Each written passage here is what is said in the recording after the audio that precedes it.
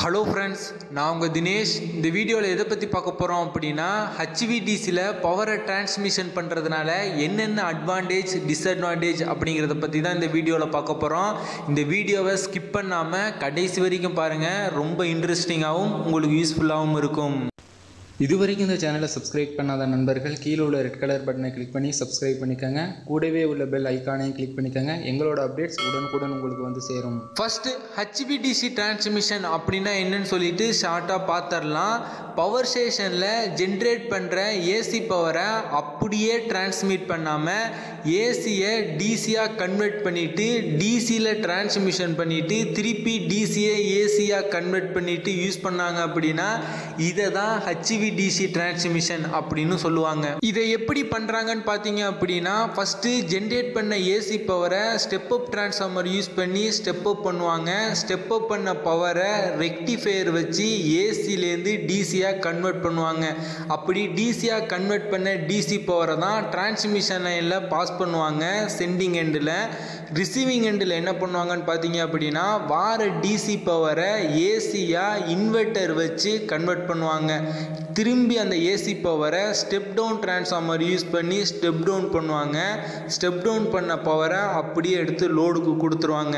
இப்படி தான் HVDC transmission work ஆகுது. ஓகே ஏன் இந்த ஹச்விடிசி டிரான்ஸ்மிஷன் யூஸ் பண்ணுறாங்க ஜென்ரேட் பண்ண ஏசி பவரை அப்படியே டிரான்ஸ்மிஷன் பண்ண வேண்டியதானே? இந்த ஹச்விடிசி டிரான்ஸ்மிஷன் யூஸ் பண்ணுறதுனால நமக்கு என்னென்ன அட்வான்டேஜஸ் அப்படின்னு கேட்டிங்க அப்படின்னா ஹச்விடிசியில் பவரை டிரான்ஸ்மிஷன் பண்ணும்போது டிரான்ஸ்மிஷன் லைனில் சார்ஜிங் கரண்ட் ஏற்படாது ஸ்கின் எஃபெக்ட் ஏற்படாது டிரான்ஸ்மிஷன் லைனில் இண்டக்டன்ஸ் மற்றும் கெப்பாசிட்டன்ஸ் எஃபெக்ட்லாம் ஏற்படாது. இதனால் லைனோட ரெகுலேஷன் சூப்பராக இருக்கும். கரோனா லாசஸ் கம்மியாக இருக்கும். டிரான்ஸ்மிஷன் லைனில் ஏற்படும் லாசஸ் கம்மியாக இருக்கும். லைனை கன்ஸ்ட்ரக்ஷன் பண்ணுறது லைனை பில்டு பண்ணுறது ரொம்ப ஈஸி அது மட்டும் இல்லாமல் ஹச்விடிசியில் பவரை டிரான்ஸ்மிஷன் பண்ணும்போது பவரை டிரான்ஸ்மிஷன் செய்வதற்கு ரெண்டு ஒயர் இருந்தாலே போதும். அதுவும் சில இடங்களில் ஒரே ஒரு ஒயர் மூலம் கிரவுண்டை ரிட்டர்ன் கண்டக்டராக பயன்படுத்தியும் டிரான்ஸ்மிட் பண்ணலாம். ஹச்விடிசி டிரான்ஸ்மிஷனில் இன்சுலேட்டர் மற்றும் பவருக்கு ஆகும் செலவு ரொம்ப கம்மி. அதனால தான் இப்போ ஒரு பவரை நீண்ட தூரத்திற்கு டிரான்ஸ்மிட் செய்யணும் அப்படின்னா இந்த ஹச்விடிசி டிரான்ஸ்மிஷன் மூலியமா டிரான்ஸ்மிட் பண்ணுவாங்க. இந்த ஹச்விடிசி டிரான்ஸ்மிஷன் மூலியமா பவரை டிரான்ஸ்மிஷன் பண்றதுல ஒரு சில டிஸ்அட்வான்டேஜஸ் இருக்கு. என்னென்னு பார்த்தீங்க அப்படின்னா கன்வெர்ட்டர் மற்றும் ஃபில்டருக்கு ஆகும் செலவு ரொம்ப அதிகம்.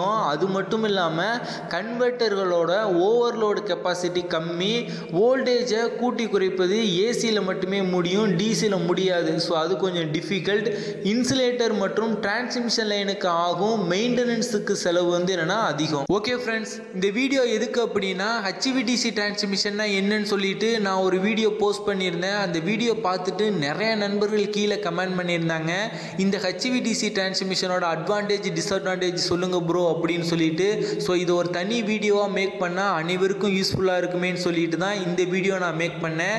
நீங்கள் அந்த பழைய வீடியோ ஹெச்விடிசி டிரான்ஸ்மிஷன் வீடியோ பார்க்கல அப்படின்னா அந்த வீடியோட லிங்கை மேல் ஐக்கான்லையும் கீழே டிஸ்கிரிப்ஷன்லையும் கொடுத்துருக்கேன். செக் பண்ணி பாருங்கள் இந்த வீடியோ பிடிச்சிருந்ததுன்னா இந்த வீடியோவுக்கு ஒரு லைக் கொடுங்க. இந்த வீடியோ பற்றின கருத்துக்கள் மற்றும் உங்களோட சந்தேகங்களை கீழே கமெண்ட் பண்ணுங்கள் மறக்காமல் இந்த வீடியோவை உங்கள் நண்பர்களுக்கும் ஷேர் பண்ணுங்கள் நம்ம சேனலில் எலக்ட்ரிக்கல் ரிலேட்டடான வீடியோஸை தொடர்ந்து தமிழ் மொழியில் அப்லோடு பண்ணிகிட்டே வாரம் உங்களுக்கு எலக்ட்ரிக்கல் பற்றி தெரிஞ்சுக்கணும் அப்படின்னு ஆர்வம் இருந்ததுன்னா நம்ம சேனலை சப்ஸ்கிரைப் பண்ணிக்கோங்க.